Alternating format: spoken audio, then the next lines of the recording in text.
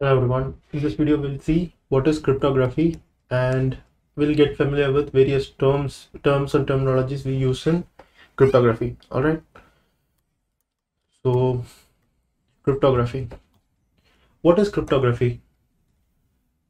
The word crypt- cryptography means it's a study of um, how to make secure communication in the presence of adversaries. Secure communication in the presence of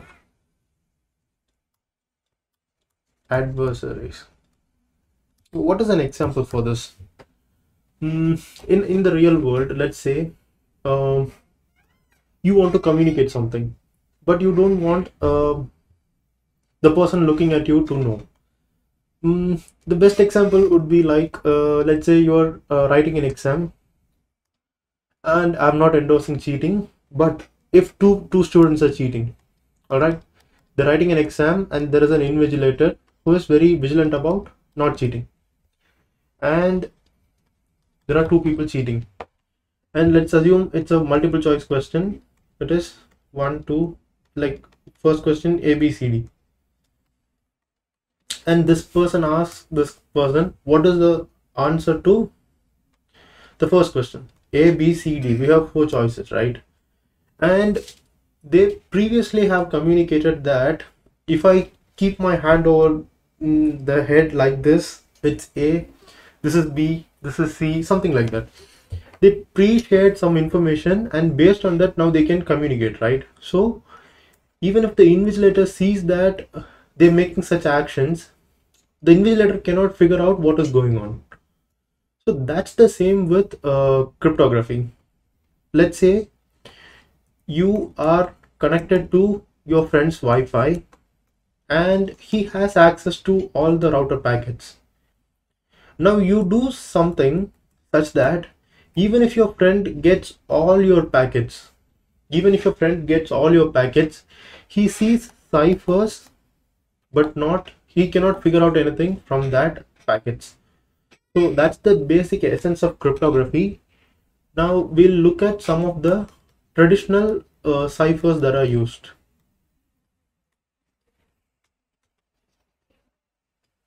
So whatever your friend sees whatever this action is this is called a cipher ciphered text.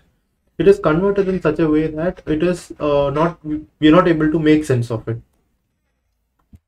So this idea is not new. It's been used since long very long before. It is said that julius caesar communicated with his uh, ministers through ciphers with additive cipher, cipher of plus 3 we'll see what addit- additive ciphers are. So first of all we'll understand a few terminology terminologies. The first terminology is ciphers. I told you it's encrypted text which we cannot figure out what the real text is without having the key.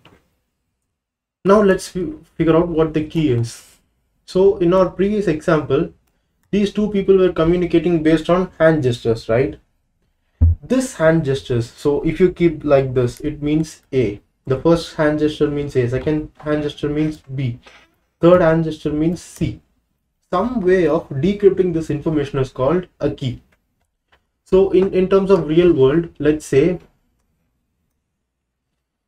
let's say you have the word hello and you this a, wants to send hello to b. But a, a doesn't want some d to see what is going on. He he doesn't mind that uh, he's saying something but he doesn't want to know d to know what exactly he's sending. So what a and b do is without d watching when d is not watching they make a key saying that if i say if i say a that means something. If i say b that means something else. If i say c that means let's not make it linear let's make it k. Mm, yeah it means x now it means k it means c or d let's some some en- encoding right? And similarly h means let's say um m and e means b L L and O. L means let's say C C and O means S.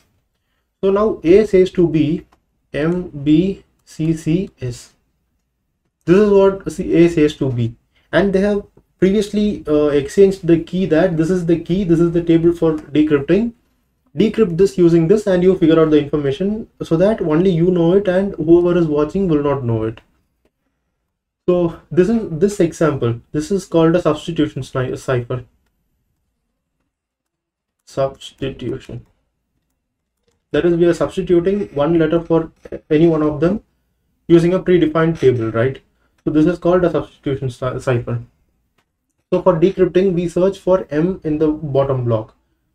We search for M and M means H. So B does what B does is B says H and B means E C means L.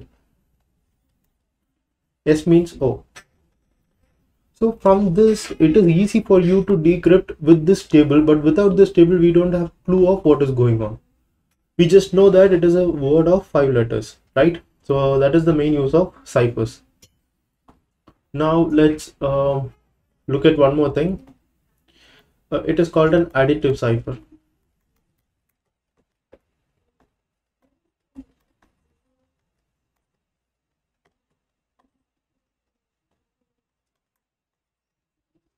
additive cipher here what happens is um, we have 26 letters in the alphabet right a b c etc and up to z and we map uh, and this is uh, mapped with numbers and we have till 25 all right we say it is an additive cipher of plus 3 plus 3 is fine. All right so to encode hello what you say is you shift three letters. H I J K.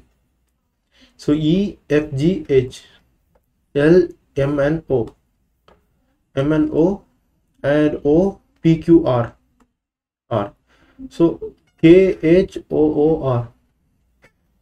Can you figure out this is uh, hello from without knowing this plus 3 we cannot. But if we know the if you know if we know what plus uh, this is encoded using plus 3 then we can easily say we shift three characters back. So three shifted is h and this is e and this is l l and o. So we can figure out what it is so this is additive cipher. This is substitution cipher. And we have something else called transposition cipher.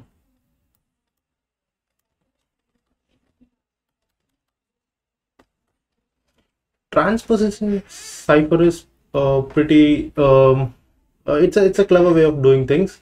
Instead of substituting for each and every letter which is really difficult and um, time consuming the key is very big what we do is we say we make a table and we say shift third letter to one fourth letter to uh, five then first letter to second second letter to fourth and fifth letter to third. So in the word hello what we do is we say third letter to first. Okay l then fourth letter to fifth. L. Then first letter to second. Then second letter to fourth. Fifth letter to third. What is the fifth letter so so the word the encrypted word means l f o e l this is hello. Right? So this is also a way of um, encrypting your uh, encrypting your communication. Um so you might ask what happens? If there are more than five letters now what we do is let's say it is hello world. Now what we do is we bend the word. We say h e l l o w o r l d. We have the uh, transposition table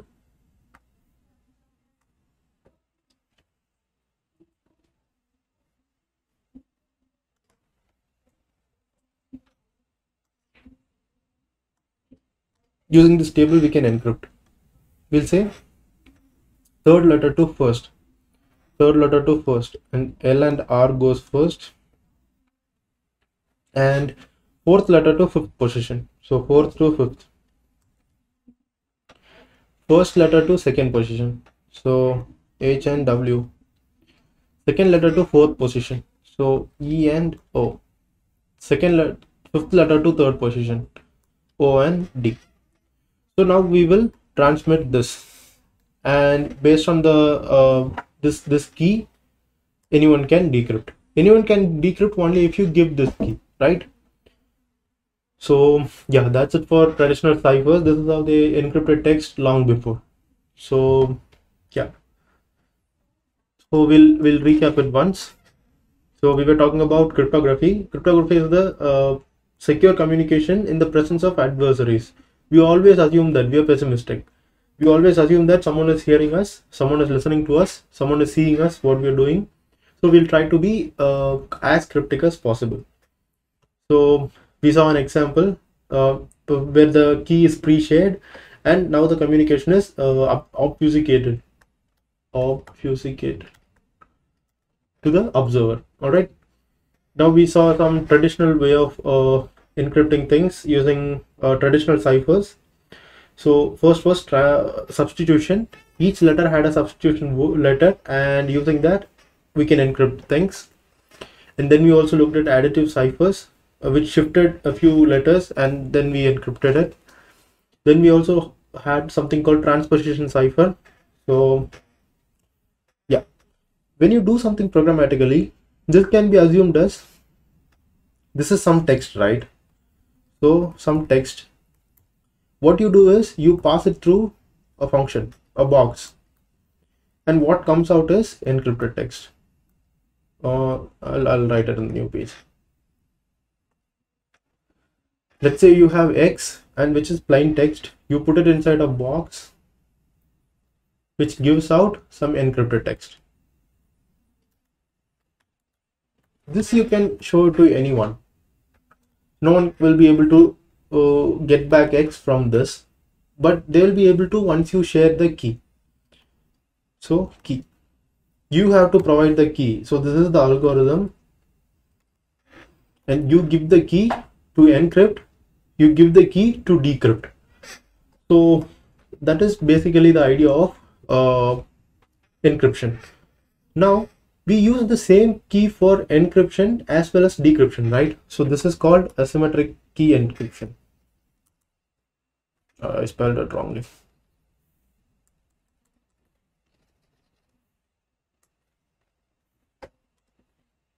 That's called a symmetric